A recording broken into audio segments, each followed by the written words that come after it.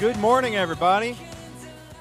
I, so I know not everybody's in their seats yet, but uh, we're going to make our way into worship this morning. So, I don't know about you all, but wintertime tends to take my energy from here and bring it way down low to here. And I, I know many of you are the same way. Um, though we may be physically tired, I believe by the power of the Holy Spirit, we can be spiritually rejuvenated. We can be spiritually energized. And that's what our new song is all about. As we go into our series of Acts, I really wanted to introduce this to you all. I'm so excited. Um, I'm going to sing the chorus for you. It's about how the love of God and the Holy Spirit empowers us and gets us moving. So it goes like this.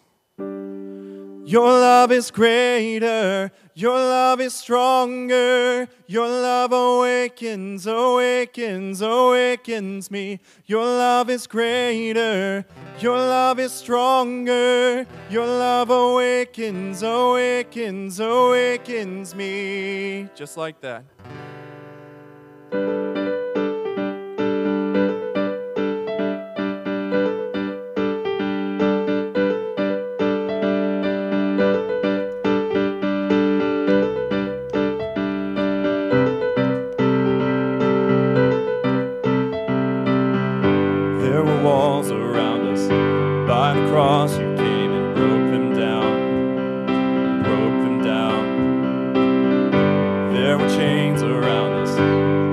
Grace, we are no longer bound. No longer bound. You call me out. You call me out of the grave. You call me into the light. You called my name, and then my heart came alive. Your love is greater. Your love is stronger. Your love awakens, awakens, awakens me. Your love is greater. Your love is stronger.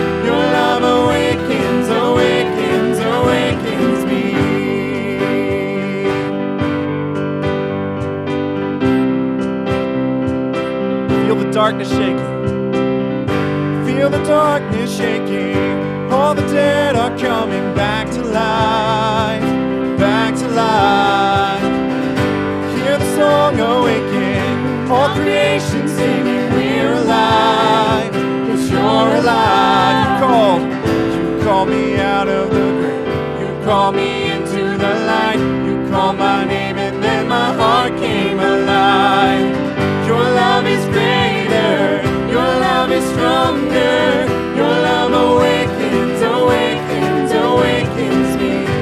Love is greater.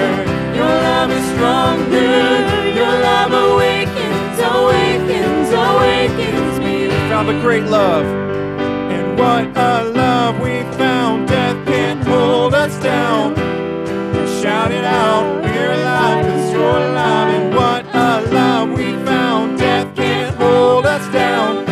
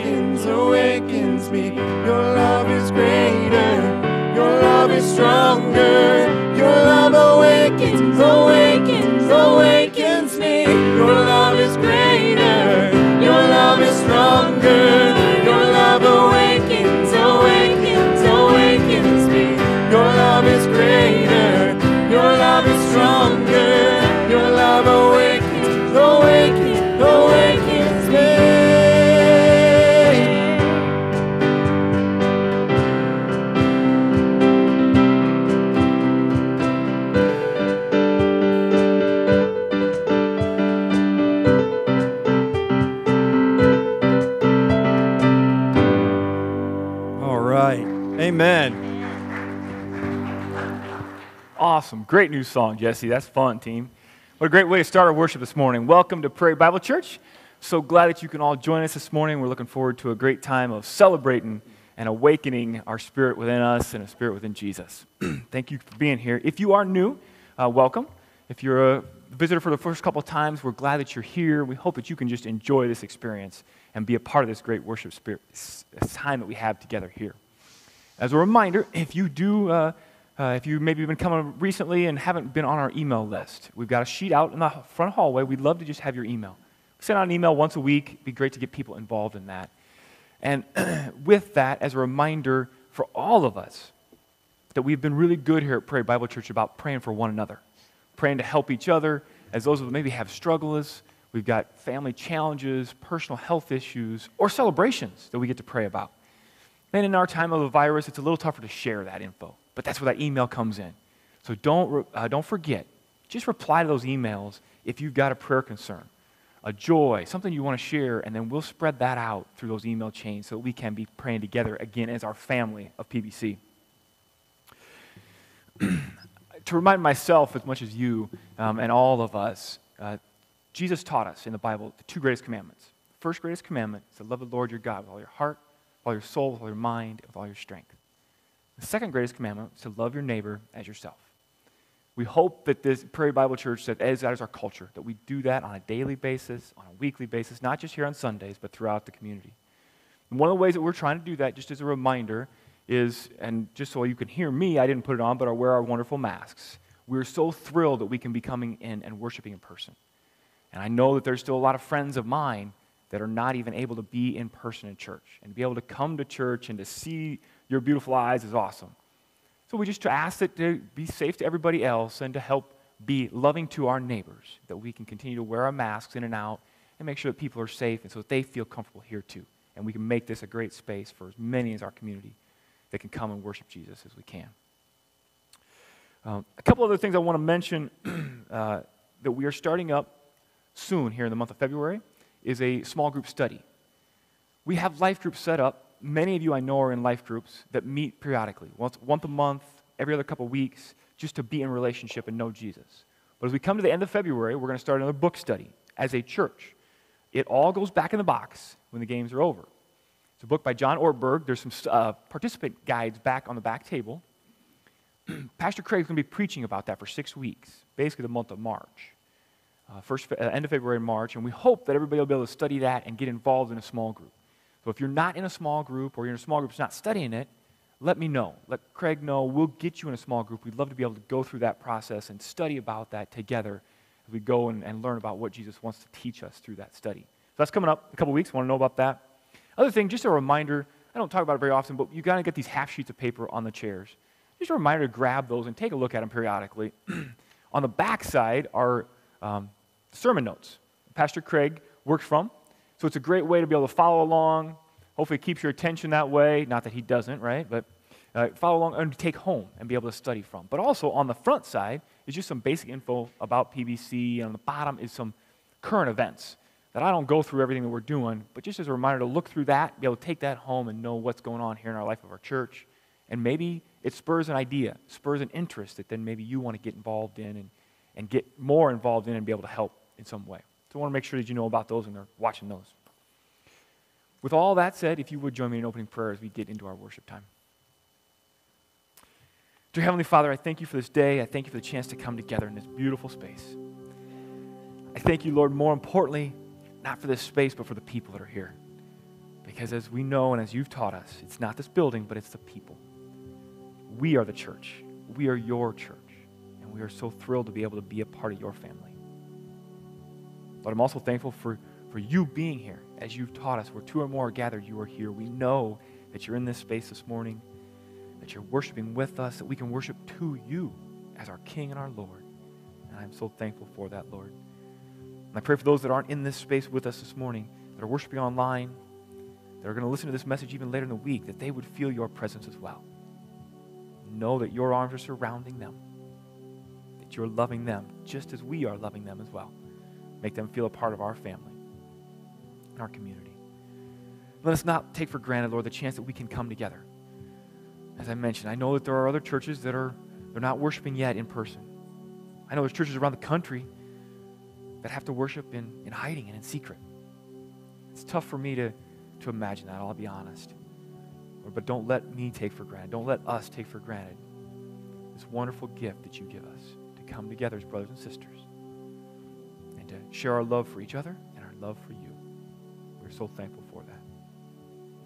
Lord, I pray for this past week. Um, there were some challenges, some issues that multiple people had, some craziness going on in the world, and yet your peace and your calm bring us back here. It's such a great blessing. But I pray for the hurt, for the sick, for those that need your healing touch, that you would be with them and love them. Pray for this coming week, as we talked about earlier with many people, the, the potential winter storm. Lord, it, it, we're in Iowa, and we know that there's all kinds of things that can come up. But as we said, Lord, that you are a part of everything. And I pray, Lord, that you would be a part of our coming week, each step. Whether it be going to work, going to school, pushing snow, that you would keep us safe, keep us healthy, and keep us on your path before this worship time, Lord, and we ask that you would help bless this worship experience. That the songs we sing and the words that we would say would be for you and love you. That you would guide us and fill us up to go out into the world this coming week and share your message with those we meet. We ask all this in Jesus Christ's name. Amen. Who here knows that they've been saved by grace? All right. Who believes that God keeps all of his promises?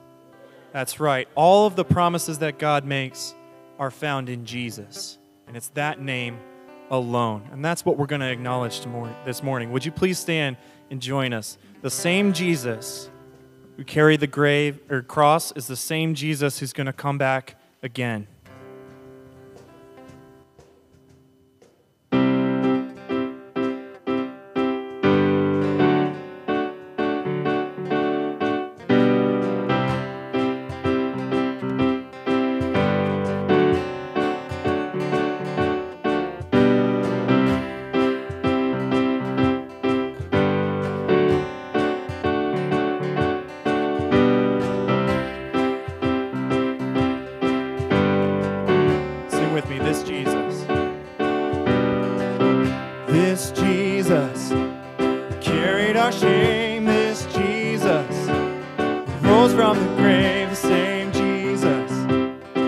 worship today, we worship today.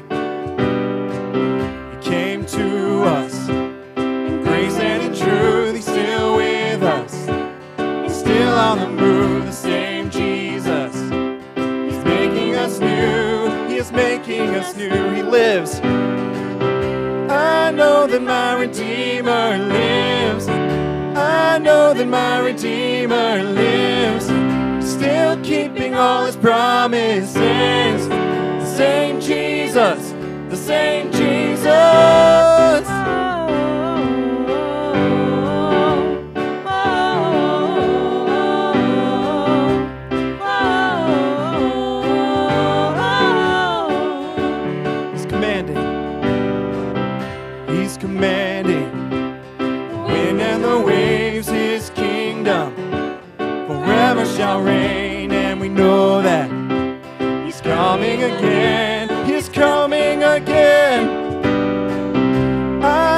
my Redeemer lives. I know that my Redeemer lives. Still keeping all his promises. Sing Jesus, sing Jesus. I know that my Redeemer lives. I know that my Redeemer lives. Still keeping all his promises.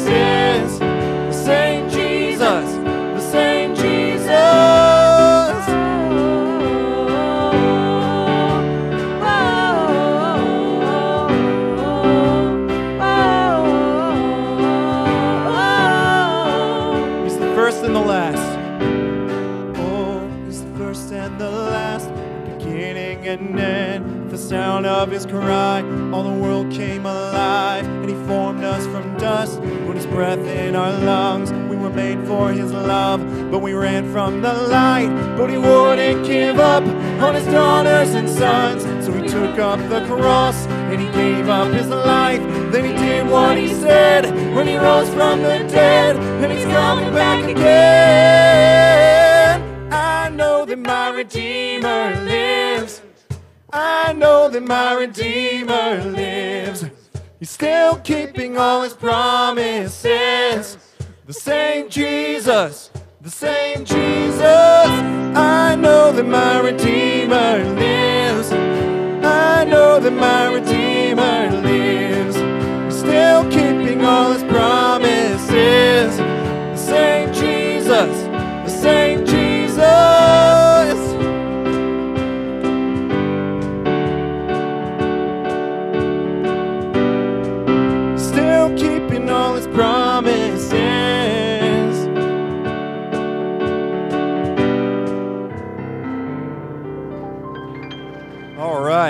He is faithful. So, one of the best ways to begin to understand how to follow Jesus as a, as a disciple is to watch other disciples. I know there's lots of people in my life that I can say, Man, I look to you, I lean on you to help me find the strength to follow Jesus. Because let's be honest, sometimes it's not easy to follow Jesus. And the Bible pretty much says as much, but we can get encouragement in that.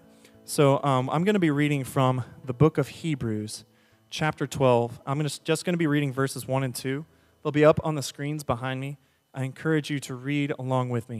It says, Therefore, since we are surrounded by so great a cloud of witnesses, let us also lay aside every weight and sin which clings so closely, and let us run with endurance the race that is set before us, looking to Jesus, the founder and perfecter of our faith, who, for the joy that was set before him, endured the cross, despising shame, and is seated at the right hand of the throne of God. You see, we can make it no matter what.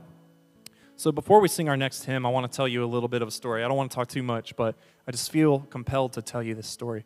Um, who, by show of hands, know the story of Horatio Spafford, the author of It Is Well With My Soul? Who knows that? Okay. So Horatio Spafford was a wealthy businessman in the 1800s, dealt in real estate. Well, that was going very well for him until the Great Chicago Fire happened and destroyed nearly everything. And because he was in such despair, he decided that he would take his family and take a vacation um, over in England. So they got into a boat, go over to England. And on the return, he had to come back before them. On the return trip, the boat with his entire family sank. He lost everything else. So, can you imagine that? You, you lose your business, and then in order to perk yourself back up, you take a vacation, and then on the trip back, your family dies, right? And it was under that, that uh, the weight of his sorrow, that he was able to express that no matter what happens in this life, it can be well with your soul. So as we sing, I want you to keep that in mind that any weight that you're carrying this morning, it, it, it's possible to find relief in Jesus, and it can be well with your soul too. So let's sing.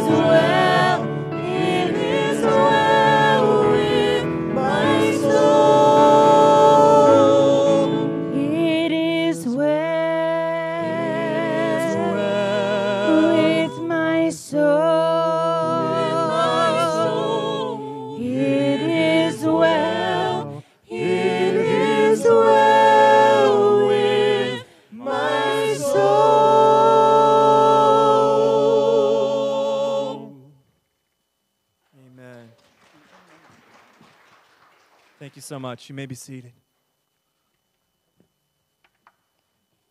I have a short children's message. Hi, Lyric. Come on up, guys. We have a couple more coming in. Good. Good to see you guys. All right, we are um, moving on to a new attribute, a, not, a, a new I am statement this week. Who said our I am statements? Help me out. Rachel. Yeah, last week. Yes, who said those? Jacob. They're in the book of John, and Jesus said them. Yeah, all of them are in the book of John. So I thought, you know, whenever we start something new, we should celebrate.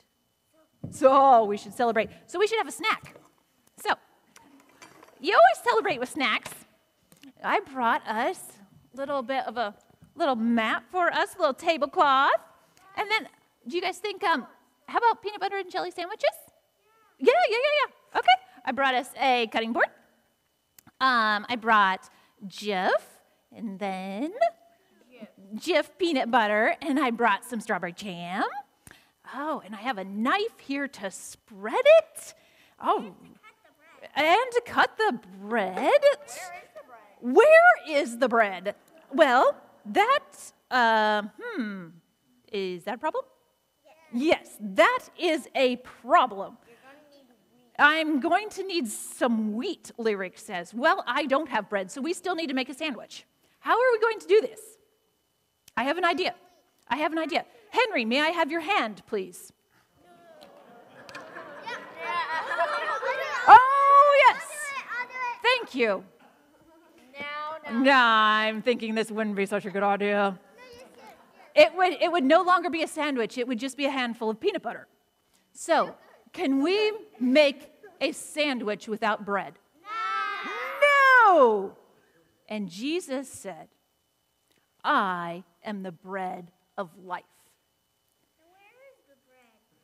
Where is the bread? We are going to dig into that. But we know that we cannot make a sandwich without bread. And Jesus told us we cannot have a life without Him. No bread, no sandwich, no Jesus, no life. We're going to dig into what that means and all about it. And yes, I have bread back there, and we're going to have a bread snack later.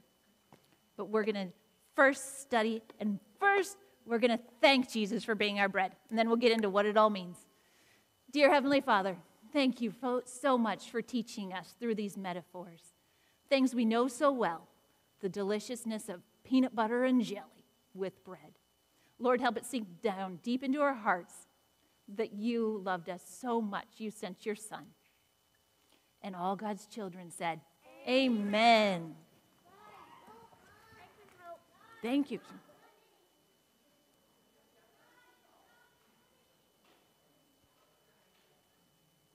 How do I do I just like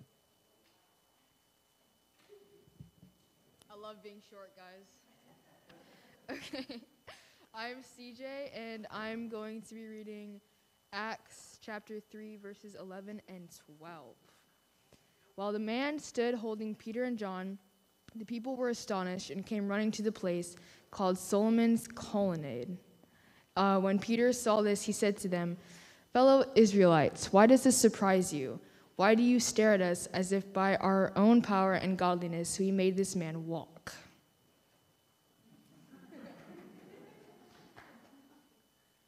Surely the presence of the Lord is in this place.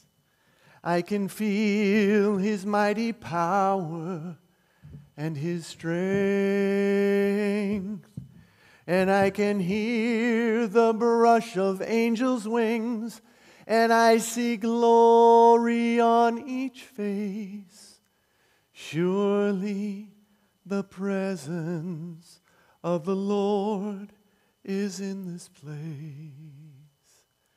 Lord, you are indeed here. And I praise you for that. I thank you for that. I, I love the, the thought that we could gather together in this place with you. The truth of the matter is, you are with us no matter where we are, even when we don't recognize that you are there. But um, there is something beautiful, something mystical, and something powerful that occurs when the people of God gather to worship God. And that's what we have come to do today. Lord Jesus, that is what we have come to um, experience, to be transformed, to, to experience the, the power of your Holy Spirit in our lives corporately and individually. We claim the promise found in Isaiah 55 11 that says, Truly, when it is your word that goes out, it shall not come back empty. And my prayer today is that as we delve into the scripture, the words that, that I might speak in relation to your word would, um, would bring these words to life for us in a way that will inspire us to actually live into them. Thank you, Lord, for loving us. Plant your seeds in us and, and produce fruit through those seeds that you plant. And may you be glorified, not just today, but every day as we live into our calling and our purpose as the church. We pray these things in Jesus' name. And everybody said, Amen. Amen. Lisa, would you come up here for a minute? Come on up. I know you don't want to, but I want. Mark, can you make sure, or Ryan, make sure this microphone's on? Hey, Lise. Hi, Craig. How you doing? I'm good. How are you? This is, this is my high school sweetheart. Uh-huh. she was 16. I was like, come over here. Don't get so far away from me. You got to be right in the middle for the camera. We didn't talk about Yeah, I know. See, I didn't tell her we were going to do this. She was 16, I was 17 when we first started dating. We had dated for four years when I felt a calling on my heart. I, I literally felt the Lord told me that I was to ask her to marry me. Do you remember what that was like? Yeah. Go ahead and you want to tell him. I pretty much said no. Oh, That's not true. I don't have any idea what you're talking about. Where are you going? I, you don't need to know. You, you were there. What had happened? tell them about what happened. you said you thought that we should get married that summer before school started. Wait a minute. Now, did that, okay, you're, that's right. I, Yeah.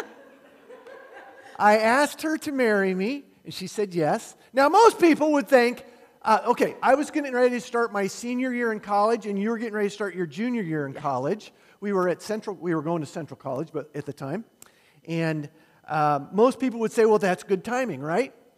Because that means you have about a year, two years to plan your wedding. It's a be- beautiful wedding, and then we'd get jobs, and we'd have a firm foundation to begin our married lives together, and it would be awesome, right? Right. But Lisa and I never do things like that. Actually, what we decided to do, I, I, it was around the 1st of August, correct? Yep. Yeah. around the 1st of August, 1982. And um, three weeks later, we got married. See, we don't do anything like Our normal parents were do. really excited about that.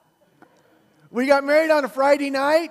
Uh, we moved into married housing at Central College immediately. And then that very next Monday, what did we do? Went back to class. We went to class. you are dismissed. Thank you very much. Give her a round of applause. Now, Lisa, was every bit of that the truth? Uh, there's not. I didn't embellish. I am accused from time to time of embellishing stories, and I and I do. I suffer in my mind. There's that's generally the way they happen, but Lisa tells me that wasn't always the way it happened. But um, everything I just told you is the truth, and the reason why I wanted her to come up here to, was so that you would know that everything I just told you is God's honest truth.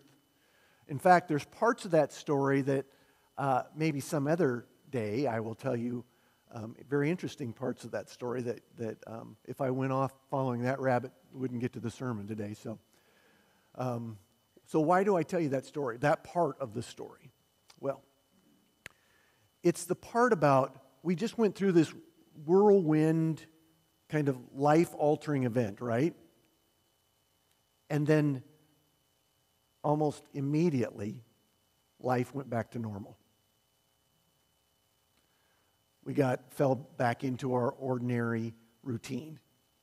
And I I remember going to class that day thinking, this is weird, right? I just my life just changed forever, but life was normal. And I was wondering, I thought, do y'all ever, can you, can you think of experience? I don't expect your, your wedding to be like that, but you, can you think of uh, life altering events that you've, maybe it was the birth of a child or a death of a family member, or maybe it was your wedding day. Do you remember having these life altering experiences and, and then suddenly realizing life just got back to normal afterwards and it just seeming weird? Remember that? Well, this morning, I want to, um, we're, we're in Acts chapter 3, by the way. For those of you who may be guests or visitors with us, uh, watching online, we um, here at Prairie Bible are on a journey through the book of Acts, right? And um, what we're going to be finding today on our journey through the book of Acts is that the disciples had just went through a life-altering experience and then strangely things just went right back to normal or to they fell right back into their ordinary routine or so it seemed. Now it's the or so it seemed part that i want you to be paying close attention to this morning. Because once you've had a life altering event normal is really never normal ever again.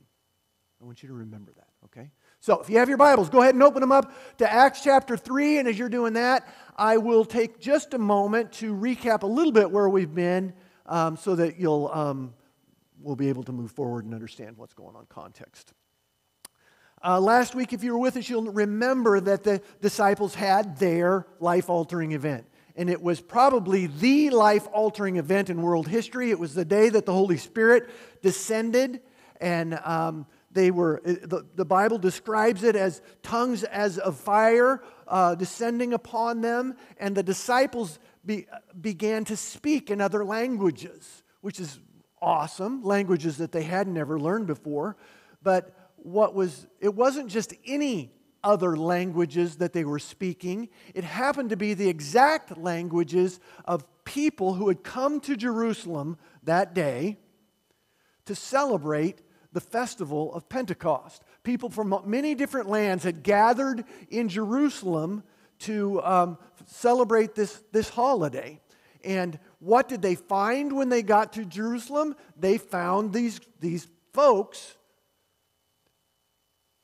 speaking in their language. But the question is, what were they speaking? They were, they were proclaiming that, that God had sent Jesus into the world, right? That, that the gospel is alive and well, and that God is inviting them into a relationship, and that all the things that they had found as oppressive and hopeless in their life are now filled with light and, and joy if they would only receive the invitation that God had given them. That Jesus had come and the Bible tells us there in Acts chapter 2 that 3,000 souls received this message that day. And it was beautiful and it was awesome. And, all, and these people went back to their various homelands filled with joy. They had their own life altering event, right? And when they went back to all their various homelands to proclaim the hope that they had received that day. By the way, you were wondering um, remember the first day when we were talking, Jesus was saying to um, the disciples, You're, uh, you're going to be, you have a mission. The church has a mission, right? And what was the mission? The mission was to go out into all the world and preach the gospel. And they're going, ah, all the world. Well, all of a sudden, right here, you find that all these people from all these various lands have received the gospel, and what they do, they go back home to do what? Preach the gospel. See, God, God knows what He's doing. Have you ever noticed that? Now, this is what I want you to know. This brings us up into uh, Acts chapter 3. What did the disciples do? Did anybody read ahead this week? In a very real sense, the disciples did nothing. Life for them just went back to normal. They fell back into their ordinary routine. I'll show you. Acts chapter 3, verse 1 begins like this It says, One day. You see, you, when we read our Bibles, we kind of miss the nuance. That's why I, I try to do this for you. I act it out for you. One day, Peter and John decide that they're going to go to, uh, doesn't say, they say Peter and John go to the temple to pray about 3 o'clock. Now that seems kind of odd, doesn't it, that they would say it that way. But you want to know why they say it that way? Because this is what they did every day at 3 o'clock. They would go to the temple and pray. That was their ordinary routine. They had just had this life altering event, the most life altering event in world history. They had been baptized in the power of the Holy Spirit. 3,000 people get saved, and it follows up with, well, one day they just do this and that like they did every other day. I wonder if that seems strange to them. And as you go on in the scripture, as you're reading, you'll see that while they were heading off to the temple to pray that day, they, they, um, there was a, a, a disabled person, a beggar, on the road that asked for money. Now, have anybody here been to Israel before? Nobody? Um, oh, yeah, good. Some, what, what you know if you've been to Israel is that that, that still happens today. There, you can go to lots of different, uh, it's not unusual in Jerusalem to go to different street corners every day and you'll find the same person. There, it's there, they still use that as part of their social safety net, right? That, that begging is a part of their culture and their society. And what will happen is that a disabled person, that becomes their job. They'll go to the same place on the sidewalk or the same street corner, and that's what they do. That's their living. They, they uh, um, ask people for money to survive. And it's very legitimate. Everybody knows it's going to happen. They see him every day, so they become friends, you know. So, this reason why I share all that with you is because this was another part of the ordinary routine. This wasn't the first time, my guess is, just because of the way life is in Israel. This wasn't the first time that they had went off to temple at 3 o'clock to pray and saw this, this uh, disabled person there asking for money. So it was all ordinary, routine. But on this particular day, Peter and John look at him and they say, Silver and gold we have none. In other words, dude, I don't have any money. But what I do have, I give to you. In the name of Jesus Christ of Nazareth, stand up and walk. Now, we don't have all the, they don't go on and explain a lot of the details of that particular moment, but just imagine the Holy Spirit fell on that man. After speaking those words over him, the Holy Spirit fell on him, and I imagine his, he could feel his legs maybe straightening out, if that's what the issue was, or the, the strength coming into his, his muscles and his legs, or the tendons beginning to. All that began to happen, and, he, and unsteadily he stood to his feet, and, and he's going, Oh my gosh! I'm healed. And he grabs them, the scripture says. He's holding on to them, the scripture says. Now, you'd think that that would be the climax of the story, but it's not. what, as you go on, it says in verse 11, it says that as the guy's holding him, you know, just probably hugging him, saying, This is awesome, thanks so much. And, and a crowd begins to gather. And, and Peter notices, he says, Oh my gosh, look at this. And he says, I think I'll preach. And he, it's, it's, a, it's a sermon not unlike the one he had preached on the day of Pentecost. He says to them, Listen, uh, days like this have been planned by the God of, of Abraham and Isaac from the very beginning of time. Moments like this have been planned by God for you from the very beginning of time. For God has sent his only son, Jesus, into the world, who, would, who was crucified and who rose again on the third day, gaining victory over sin and death, that you might be saved, that you might have hope in the midst of darkness, that, that you might be saved and, and become part of the family of God. People were listening and, and lives were being transformed. It doesn't really, if you read um, Acts chapter 3, it doesn't really say, it doesn't like in the previous chapter, it says 3,000 people got saved that day. It doesn't tell us that here. But we know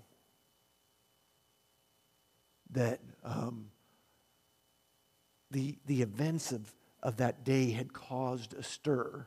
And we'll talk about that next week, by the way. But I don't really want to talk so much about the stir as I want to talk about what we alluded to a moment ago.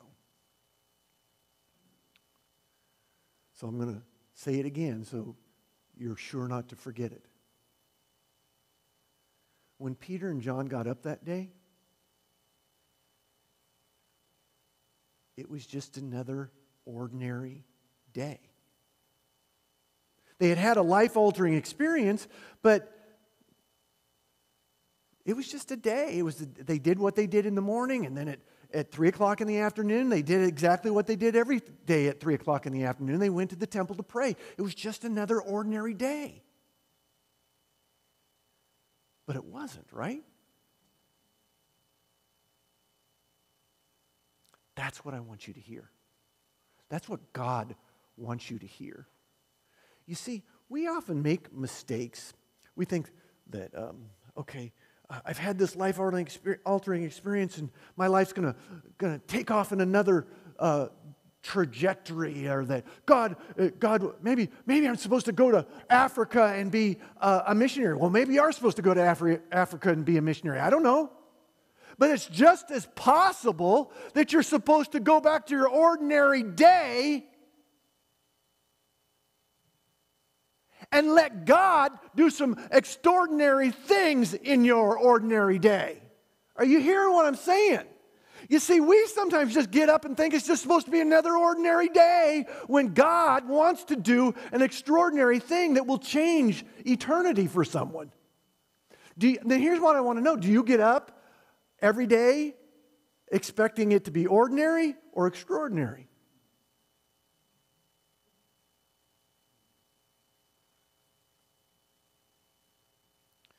Listen to what I'm saying. If you've accepted Jesus Christ into your heart as Lord and Savior, there is no such thing as an ordinary day. There shouldn't be.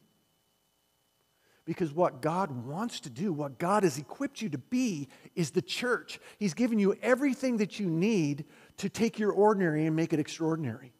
Everything. You don't have to go out and create opportunities or situations for God to do extraordinary things. You just go out and let God be who you are in your ordinary, and then it'll become extraordinary. We make this far more complicated than it really is. Peter and John got up that day and just did their thing. And at three o'clock, they went to the temple to pray, just like they did every other ordinary day. And God did an extraordinary thing. You see what I'm saying? God wants to do that in you too. Does he want to? Does he want you to speak a word over someone that they that they would be healed? I don't know. Maybe he does. Is that what you get up expecting to have happen? Maybe the extraordinary thing that God wants to do is there's somebody that, that, that you meet that day in the grocery line or in the, in the dentist chair or, or in the office in which you work or the school where you, t- maybe, maybe, maybe God just wants you to, you'll, he'll take that ordinary moment and make it extraordinary by, by you saying, can I just say a prayer for you? I know it's, it's something, I know things are going on and can I pray for you? Let me just tell you, I've, I've been where you are, and, and the, the only thing that made a difference for me is Jesus. I've been depressed too. And the only thing that's given light into my darkness was, was, was Jesus.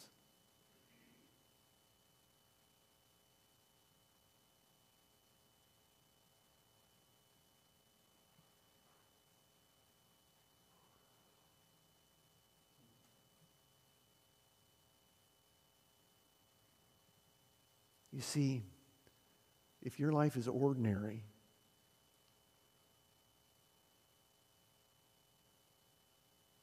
it's not supposed to be. And it doesn't have to be. God wants so much more. And friends, it really ain't about you either. It's about that person that He just kind of ordinarily brings into your day.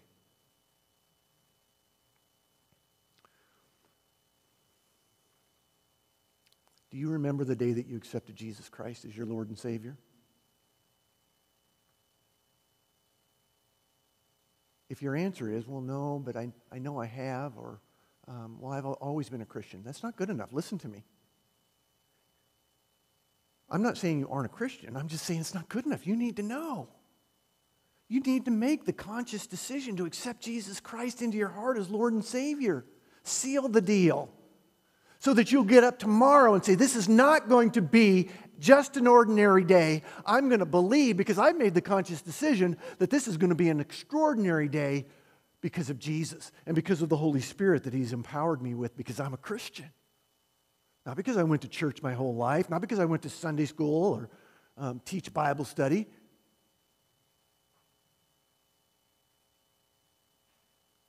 If you haven't done that, you need to do that, okay? You know, there's nothing magical about it. It's just a choice that you need to make, that you need a conscious decision. I got to do this. Maybe today's the day. If you'd like to pray that prayer with your pastor, I'll be standing right. You don't need to pray that prayer with your pastor. You can do that all by yourself. Or you won't be by yourself, you'll be with Jesus. But if you'd like to pray that prayer with me, I would be honored to pray that prayer with you. I'll be right over there, just as I am every week.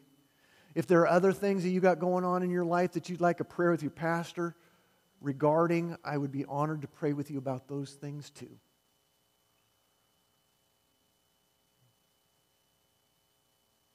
Because God wants to take our ordinary and make it extraordinary. And He will, if only you ask.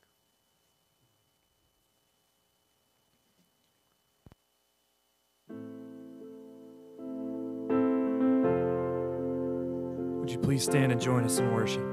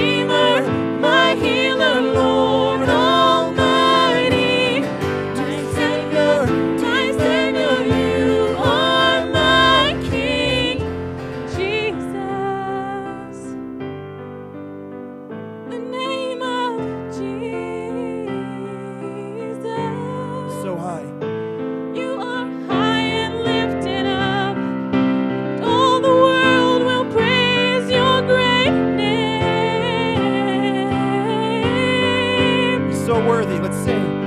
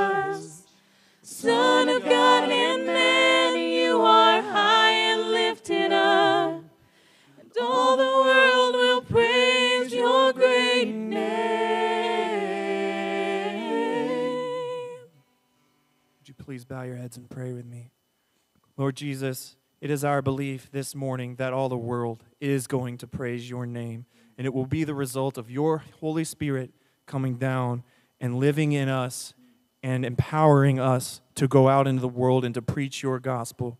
We do believe that the same Jesus who conquered the grave is the same Jesus who's moving today. It's the same Jesus that will empower us to go out to reach our friends, to reach our neighbors, to reach our coworkers, to reach our spouses, Lord, and to reach us because you love us. So, Lord, we pray that you would, Holy Spirit, just fall on us today and empower us to do just that. We pray and we ask this in the mighty name of Jesus. Amen. I hope you all have a great week. Please go in the power of the Holy Spirit and preach the gospel to someone this week. Have a great week. If you're trying to the holes inside, there's a better life. There's a better life. If you got pain, he's a pain taker. If you feel lost, he's a way maker. If you need freedom, a saving, he's a prison shaking savior. If you got chains. He's a chain breaker.